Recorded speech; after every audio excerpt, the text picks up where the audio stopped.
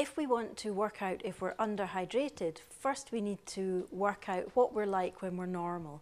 And the easiest thing to do is to think about our urine production, how often we go to the toilet, and the volume that we um, get rid of when we go to the toilet.